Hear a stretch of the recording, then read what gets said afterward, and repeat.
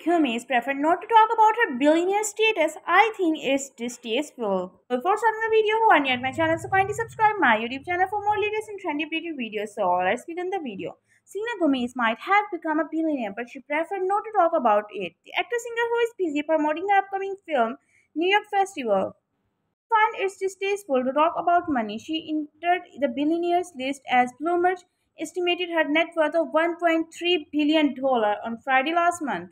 Refused to talk about her status at the red carpet of New York Film Festival and said, I personally think it's distasteful to talk about money, but I really am giving all the credit to the people who buy the products. The actor also added, they are the ones who made this dream of mine come true, and so I'm really, really honored and just happy.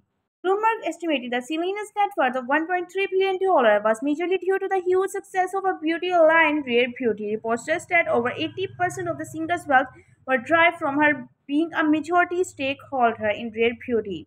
Apart from her beauty brand, Selena Gomez's billion is also a result of her investment in the real estate portfolio, Wondermind earning from her singing and acting career as well as paid partnerships. Selena was recently seen at the Primetime Emmy Award ceremony where she scored her first Emmy nomination for Only Murders in the Building in the lead actress in the comedy series category. So please subscribe for more.